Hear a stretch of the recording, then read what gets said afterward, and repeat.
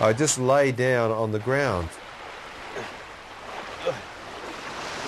And I started to feel very weak and tired.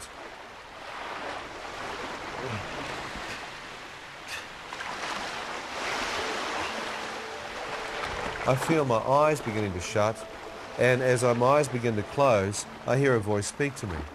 It says, Son, if you close your eyes, you shall never awake again.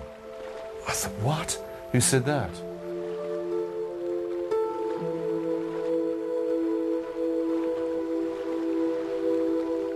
As I looked to my right, I expected to see a man standing next to me, but there was no one there. That's bizarre. But I knew I'd heard a voice speak to me. Close your eyes, you'll never awake again. But that means you'll die. What are you doing trying to go to sleep here? You idiot. This is a coma. You can't afford to sleep. You need anti-serum, antitoxin. See, I intellectually knew this as a lifeguard, but here I am confronted with the fact that this poison's just taking me out. And I'm unaware that I'm on the edge of potential coma and I believe certain death. So I stood up, fought off the, the, the, the, death that was coming on me as best I could, and found my left leg was still strong enough to support my weight.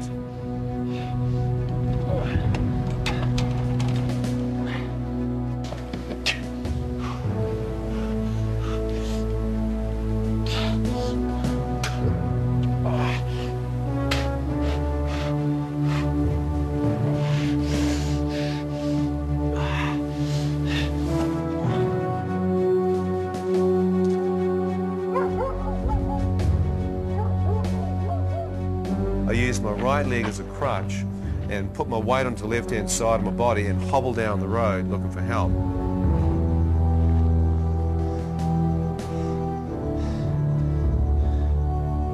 If you close your eyes, you shall never awake again.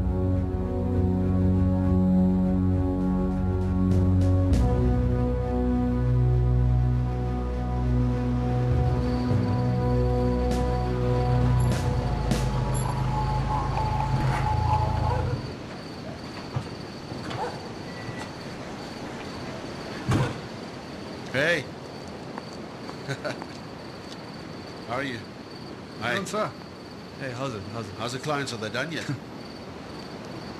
hey, look at this guy. Oh, drunk surfer again. hey, help me.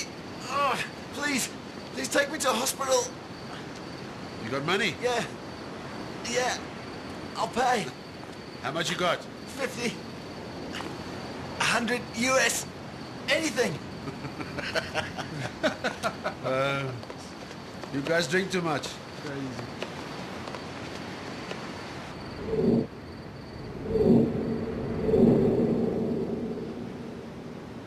As they walked away lighting up a cigarette and just ignoring me, I heard this voice speak to me again. It said, son, are you willing to beg for your life? Please. Please.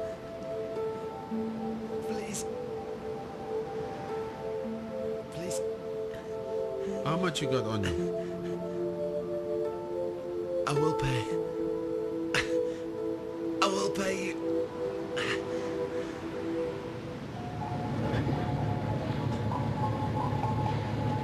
How will you pay me, huh? Don't worry. I'll pay you, I promise. Where do you stay? I stay at a bungalow. Tamarind Bay. Okay. I'll drop you at the Tamarind Bay Hotel.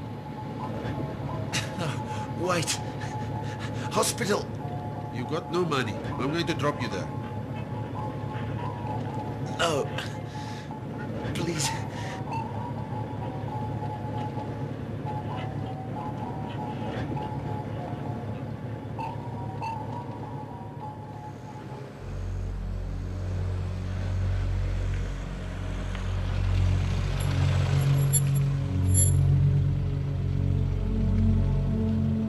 Baby. Take me to the hospital.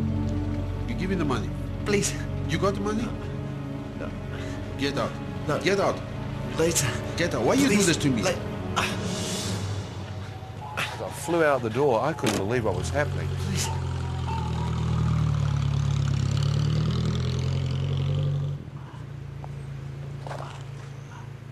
As I lay there, I could hear the familiar voice of a Creole fisherman from the village, Daniel.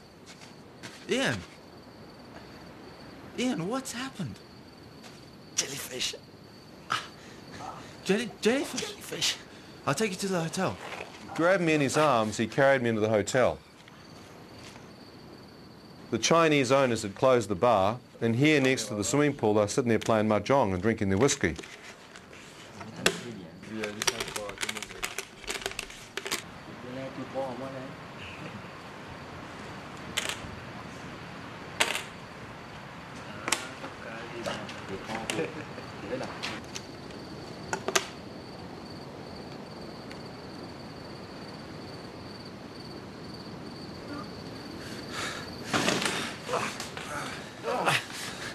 Wait till Ian. I'll get an ambulance. Hey, white boy. What's the matter with you? You drunk? No. No, please. A hospital. Please. I need a hospital. A hospital. What's this? Stupid boy. Why you put needles in your arm? What? I'm cold. Please. I'm cold. I need a blanket. I'm cold.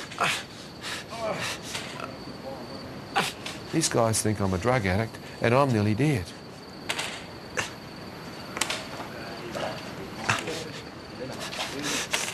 Stupid boy. Stupid boy. A cold. So cold. Help.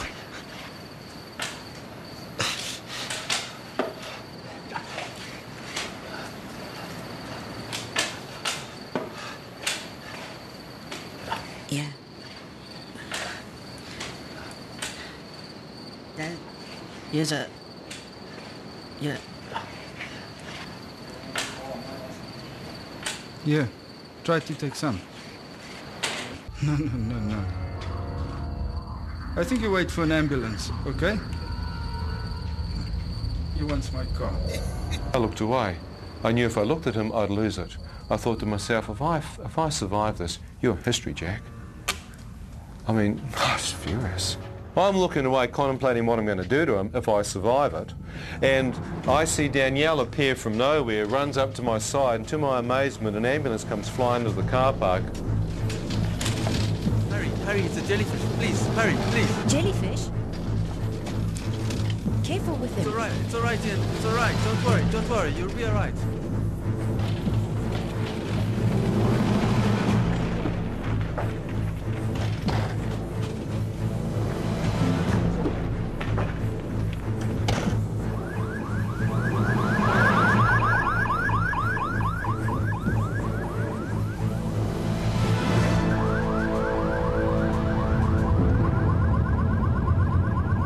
As we race towards the hospital, I start to see on the inside of the ambulance what appears to be a small boy with white hair.